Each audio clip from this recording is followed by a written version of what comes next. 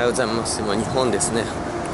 今日はですねこの髪型この色だとえっ、ー、と奥さんが家に入れてくれないということなんでまあそういう話だったんだよね。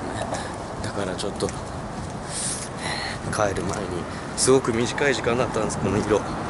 えー、っと茶色普通の茶色系に戻してから帰ろうと思います、はい、まず朝香港から来ましたね。香港。はい。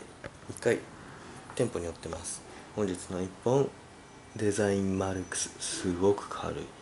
私一回持ってたんですけど車で引かれてもあの全く何も問題なかったです。壊れなかった。すごく頑丈な素材を使ってるんです。よこう見えて。こんな感じです。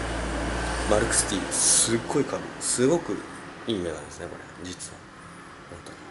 マルクスティーです。エアレジ来ました。iPad Air とプリンターにレジ。全部ついて。ただですよただ。リクルートさんです。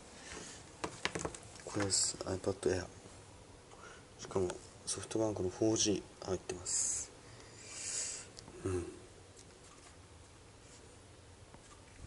すごい。リクルートさんさすがです。というかあれですね。最近いろいろありすぎてえー、半日で一気に老けました。白髪。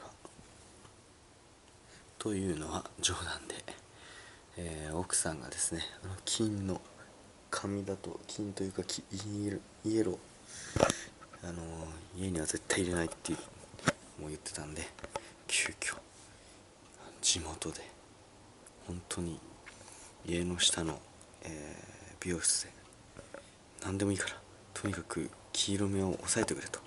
見ていただいた色がこれです、眠い。もう寝ます。